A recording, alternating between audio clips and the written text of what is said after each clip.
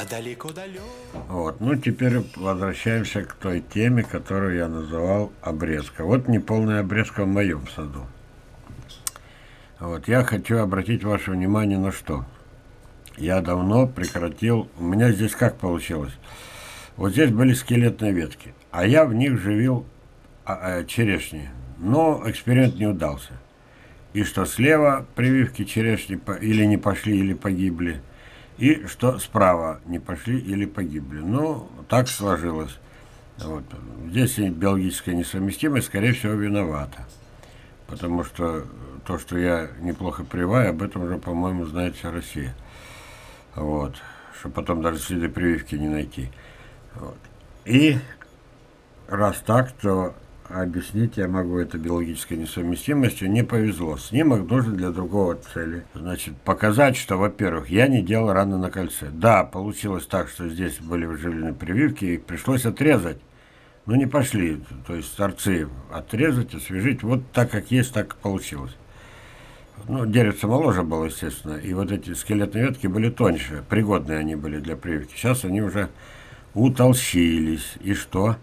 Какова их судьба? Если бы я их целиком отрезал, вот видите, вот тут, вот тут, вот тут, вот тут, дерево бы уже было мертвым. Я вам примеры показывал. Маленькую часть моих примеров. Они были бы мертвы. И я решил, я всегда оставляю вот эти пни. Почему? В одних случаях не повезло. Вот это все мертво. Так? Естественно, тут уже, поняли теперь, тут уже напрашивается вот такая, это, вот такая э, казалось бы, обрезка на кольцо. Ничего подобного. Да, сухие ветки, да и черт с ними, пусть они торчат на дереве, столько ли, сколько суждено дереву жить. Вот тут я не делаю, я приближаю конец, вот тут еще ранг поменьше, поменьше. Да, вот это отсохло, но, по крайней мере, она в какой-то степени даже является, ну, не защитой, сюда мороз проникает. Но если бы я вот здесь сделал рану, она была бы в два раза больше, само собой, по размеру. Я этого не делал. А здесь мне просто повезло. Здесь получилось длиннее вот это плечо, так, и оно не мертвое, оно обросло вот этими самыми волчками. То есть возродилась крона. За одним я увидел, о чудо! А знаете, в чем заключается чудо? Прививки черешневой погибли, а вы уже догадались. А вишневые ветки, эти самые, каких, ветки, листья это, увеличились в размере в два раза и приняли промежуточное положение. Еще не черешневое. Да, уже, я бы сказал, черешневое, поверили бы, они уже вот какие, какие крупненькие. А скорее они имеют вид такого дюка, то есть полувишни, получерешни, то есть гибрида. Вот. Но отвлекаться не будем. Помните, впереди высшая математика, как бы высшая биология, мы вегетативную гибридизацию, пока только... Уже что-то знаете, уже это... Надо постепенно. Вы знаете, как мне трудно было? Я по наивности как? Приезжает клуб садоводов, в, в автобусе 30 человек, я 3-4 часа без перерыва вот, я увлечен, у меня глаза горят, у меня столько слушателей. Наконец-то меня признали, что за 200 километров наняли автобус, целый клуб приехал. Я 3-4 часа рассказываю, потом говорят, мы все забыли тут же еще. Еще не отъехал автобус, они уже все забыли. Неподготовленные умы. Они на другой день, ну, что-то вспомнят, ну, какие-то отрывочные.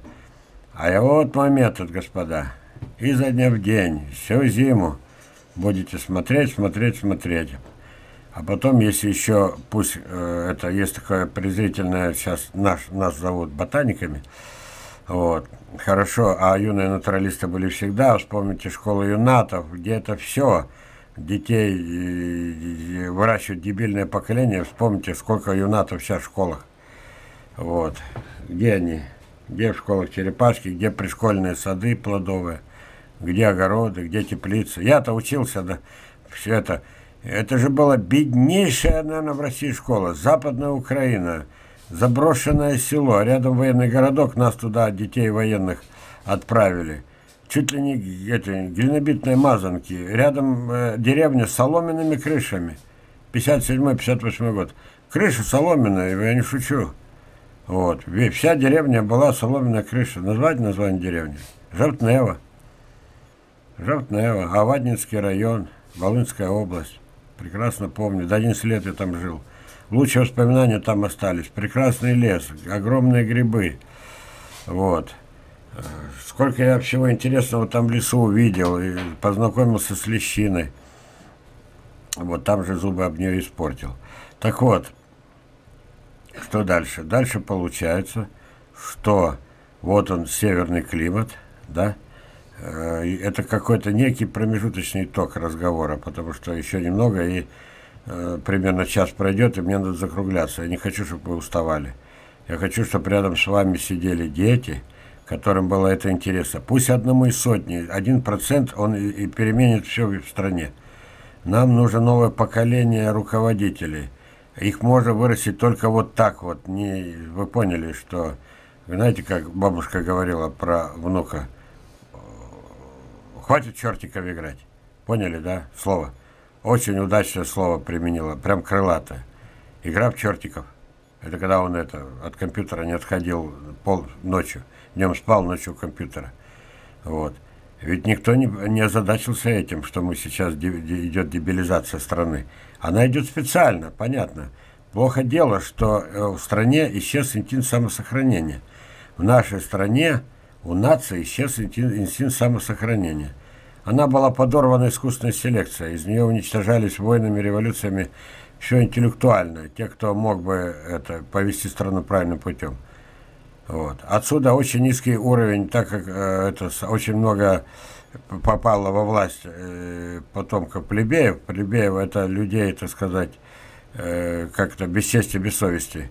Вот. А они заставили других опустить руки. Нищета, она не способствует, она способствует только э, этим самым преступлениями, наполненным тюрьмам, больше ничем. Ничего в ней такого духовного нету. Вот.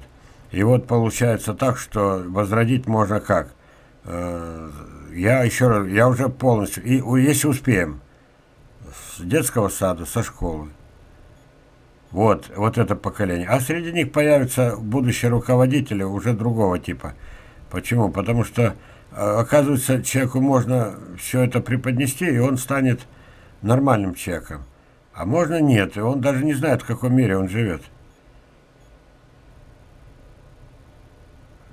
Потом маленечко и мы приложим, я приложу какие-то усилия. Я сейчас пока начал с таких основ, я надеюсь, что не отпугнул от экрана никого из тех, кто начинал смотреть первый фильм, хотя вот этот примерно сороковой. Вот. Вот эти вот вещи, они, как сказать, вот вырастил дерево, у него хорошее настроение, у него здоровые дети, у него витамины, у него погреб, как мой, должен быть набит столькими этими закат, что потом не знаешь, куда их девать. Вот. А вырастил мертвое дерево, и что?